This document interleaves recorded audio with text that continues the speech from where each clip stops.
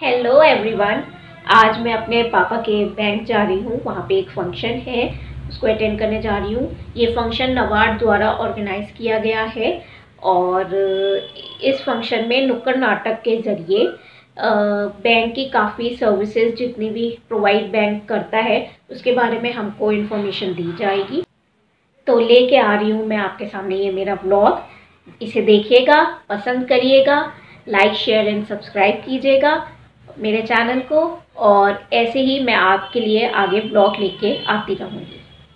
तो let's get started तो ये है पापा का बैंक जहाँ मैं इस फ़ंक्शन को अटेंड करने के लिए सात साल बाद करीब आई हूँ। और मैं अब ये मेरी प्यारी प्यारी तीन दीदियाँ हैं जिनसे मेरा रीयूनियन हुआ है। तो ये है पापा का this is how U P cooperative bank looks like and ऐसे एम्प्लॉयज़ यहाँ पे अपने अपने सिस्टम पे वर्क करते हैं। हमारी माधुरी दीदी काम कर रही हैं। बढ़िया है सेपरेट तो ये है माधुरी दीदी की बगिया प्यारी सी। फ़ंक्शन स्टार्ट हो गया है तो अब मैं और पापा फ़ंक्शन देखने के लिए नीचे जा रहे हैं। बैंक द्वारा चलाई जाने वाली तमाम सुविधाओं तमाम योजनाओं के बारे में आपको बताएँगे। तो आप लोग आए, पहुँचे हमारे इस कार्यक्रम में और शामिल हो तमाम जानकारी का लाभ लें प्रोग्राम का शुभारंभ ढोलक की मधुर ध्वनि से हो रहा है।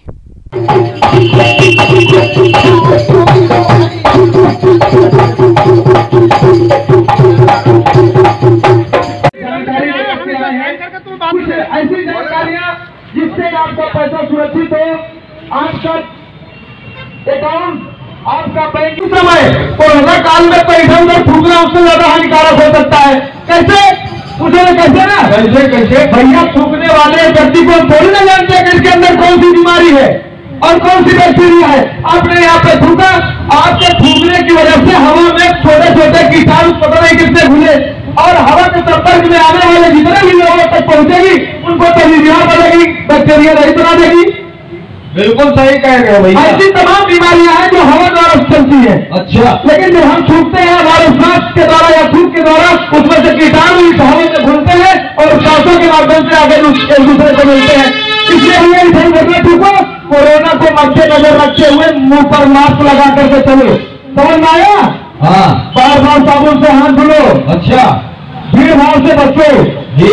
ज़रूरत पड़ने पर इस समय पर बाहर निकलो नहीं अपने घर में सुनता पड़ जाओ ठंडी भी बहुत है और कोरोना भी आने की शंका है। ऐसा है। हाँ। समझ में आया ना?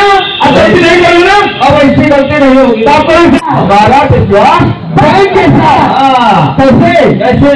गीत के माध्यम से। हाँ बिल्कुल। कहना है? क्या कह रहा है? अब कैसे करेंगे जमाना है बनाना है। अब कैसे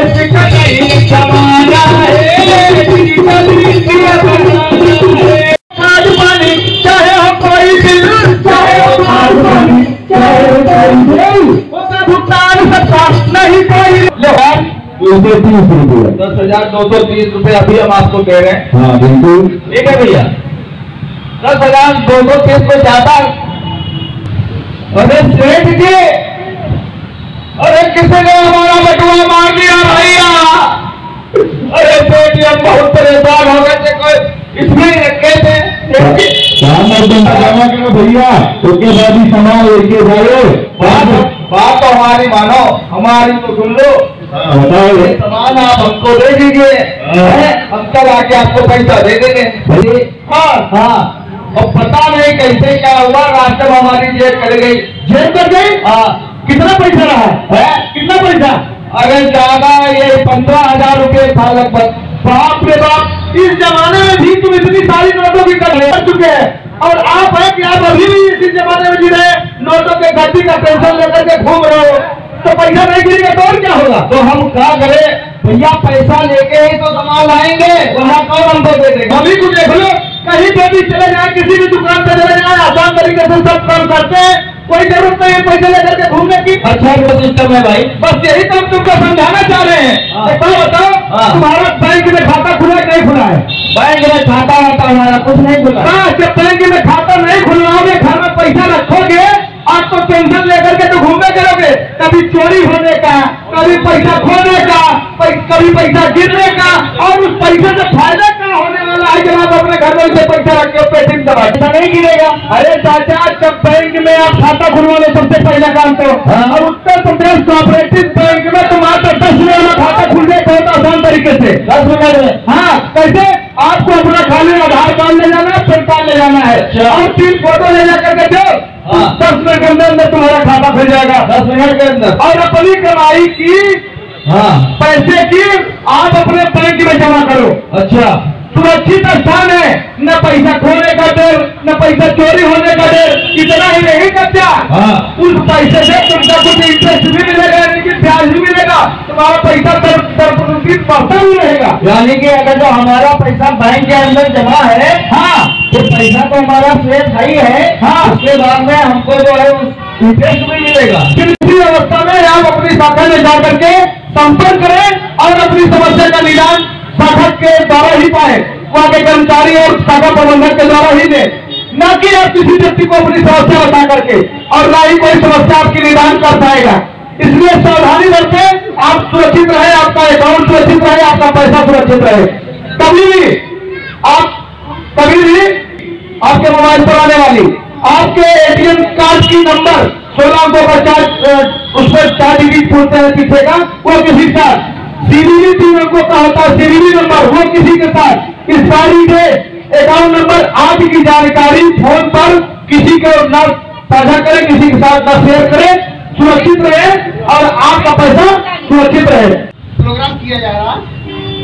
ग्राहकों को बताया जा रहा है कि क्या क्या सुविधाएँ दी जाती है और जिससे ग्राहकों को क्या क्या फ़ायदा हो सकते हैं।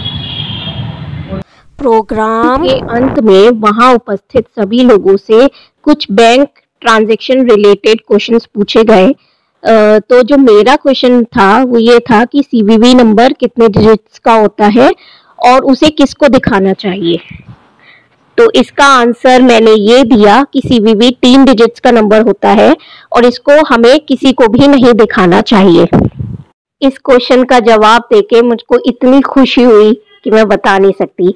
और प्रोत्साहन के रूप में मुझे एक पेन गिफ्ट में मिला। नेक्स्ट क्वेश्चन ये था कि जिनका भी बैंक में अकाउंट है वो कुछ अपनी सर्विसेज़ जो उनको मिलती हैं उनके बारे में बताएँ। तो इस पर पापा ने ये जवाब दिया। मैं 2016 जून में रिटायर हो चुका हूँ यहाँ से अच्छा एरिया के पद से अच्छा और यहाँ और यहाँ पर वरिष्ठ नागरिक के लिए बहुत सुविधा मिलते हैं। अच्छा मुझे बैंक जाना नहीं पड़ता है एटीएम के पास के कुछ भी पैसे निकाल लेता हूँ। मुझको एक परसेंट स्टाफ का ज़्यादा मिलता है, आधा परसेंट वरिष्ठ नागरिक का ज़्यादा मिलता है, डेढ़ परसेंट बहुत मायने रखता है, एक रिटायर्ड आदमी के लिए। बिल्कुल और यहाँ का स्टाफ बहुत ही कुशल और बहुत ही सेवा अच्छी प्रकार करने वाला है। बहुत ही रेस्पेक्ट करता है रिटायर्ड आदमियों का भी और हमारे बैंक के जो भी कस्टमर आते हैं उनका भी बहुत ही इज़्ज़त है। जोरदार तालियाँ बिल्कुल ये है उत्तर प्रदेश कोऑपरेटिव बैंक और बैंक की सर्विस जो हर कोई जानता है और इससे लाभान्वित है सारा संस्थान उत्तर प्रदेश कोऑपरेटिव बैंक और नाबार्ड के सहयोग से। सो ये था मेरा पहला ब्लॉग आपको ये ब्लॉग कैसा लगा? कितनी इन्फॉर्मेशन आपको बैंक की मिली ये भी मुझे कमेंट सेक्शन में बताइएगा। or please do like subscribe my channel. Hit the bell icon for more updates. Thank you.